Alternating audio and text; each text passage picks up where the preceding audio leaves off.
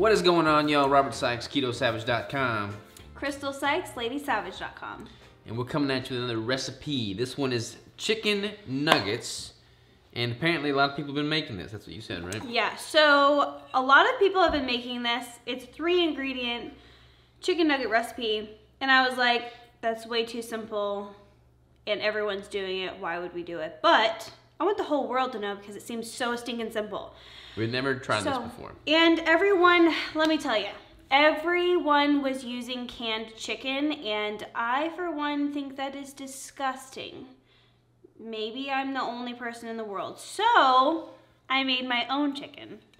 And I'll tell you how I did it. So I just stuck the chicken in the Instant Pot. It was in there for 15 minutes on manual. And then um, I just made sure that there was no waters or oils or anything like that. You can even like damp it so where it's um, dry with like a paper towel. And then I just stuck it into the um, blender and it blended it up beautifully and now we're gonna use it rather than using canned chicken. It literally took, like the actual effort took maybe five minutes. The cooking part of it took 15. So if you wanna use can, that's fine. But this is a better option. All right, what do I do? So we're literally just gonna add these together. So there's one pound of chicken, one cup of cheese, and um, I think you can pretty much use whatever cheese you want. I have not actually made this before, and I didn't take anyone else's specific recipe because they were using like very little amounts of chicken. So I like doubled the chicken and just decided that this is what we were gonna use. So we're using one pound of chicken, one cup of cheese, whoop, and two eggs. All right. I'm really excited to see how these turn out. We're going for a certain texture with these eggs. Certain texture. Yeah, because it's supposed to be mixed evenly, I'm assuming. Yeah, everything is supposed to be mixed evenly because then you're gonna like ball them up and put them on the sheet pan. Excuse me. I did heat up the oven to 425 degrees. Another thing that everyone else was doing was sticking them in the air fryer. We don't have an air fryer at our house. We have it at the warehouse for the crew to use. Um, just when I'm home, I prefer to use the stovetop or the oven. So um, that's what we decided to do. so we're gonna um, we're gonna use the oven and we're gonna put it on 425. You can stick it in the air fryer. I don't remember what I tried not to really look at everyone else's recipes. Is So that enough? Like maybe one more egg? You think it's no, I think that's good. That's good. Um, I'm gonna add a little bit of seasoning, but I tried not to look at other people's recipes because I didn't want to be convinced to do it one way or another. So we're just winging this. It's the savage This is recipe. this is how you can learn. This is how you can learn how simple this is or not. If we totally mess this up, then don't follow our recipe. All right, you want to try and make a handful? Yeah, you think that's enough seasonings? I mean, I'm always heavy-handed on the salt and pepper, so All right, let's add a little bit more of both. And then I have a sheet pan here. Again, you can use the um, air fryer. Um, I think it was like 10 minutes and you don't have to flip them. When we are doing our recipe, um, I'm gonna put them in there at 425 and then we're, we're gonna flip them just cause they're probably gonna need in the uh, oven. Okie dokie. I don't think there's a perfect way of doing this, but just like little bite size what you would want, which this is just gonna be so wonderful. I'm excited so? about this, yeah. you could also use um, uh, cookie molds if you want to make your chicken nuggets in like dinosaur shapes or things like that. Uh, but we don't have any molds. You still like balls? Um, yeah, just like little balls, but kind of like flattening them out. Our cheese is also a little bit more, um, whoa, um, a little bit more What's that? Whoa, for? we're I talking think about that was a big one. Um, it's a little bit thicker, so you can get like a finer grade, but we just grade it here ourselves rather than getting the pre pre shredded ones. Whoa. Stop taking that spoon out, you crazy. Why, why are you getting the spoon? Just use your fingers. Because I have nails.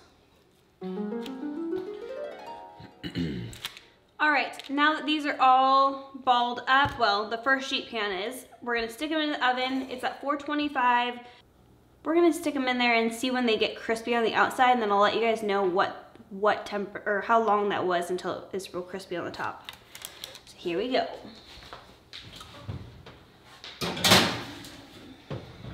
All right. All right. it's been 10 minutes. We're gonna open up the oven, bring them out here, flip them over, and then stick them right back into the oven.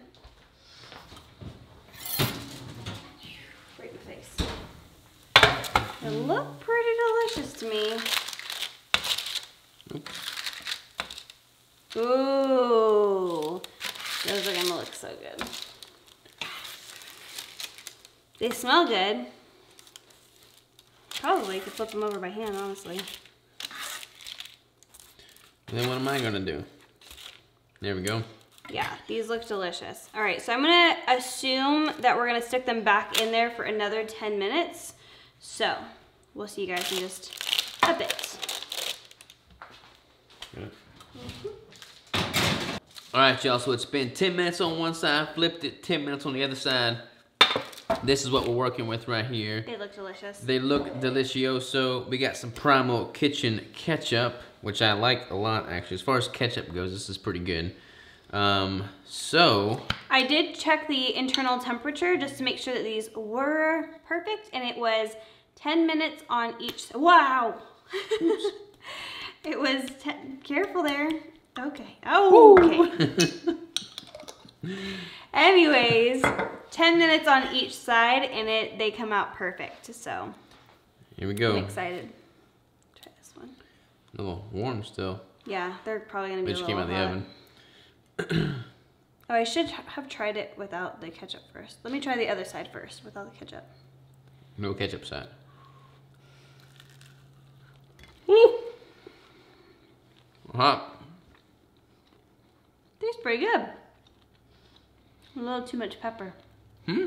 A little too much pepper. Mm-mm. Alright, let me try it like with the ketchup side. They are hot. I would. I need to like take like, a bigger bite. Yeah. They taste like chicken nuggets. Mm-hmm. They even smell like a chicken nugget.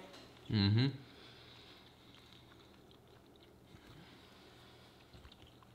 do you think? A plus? Yeah.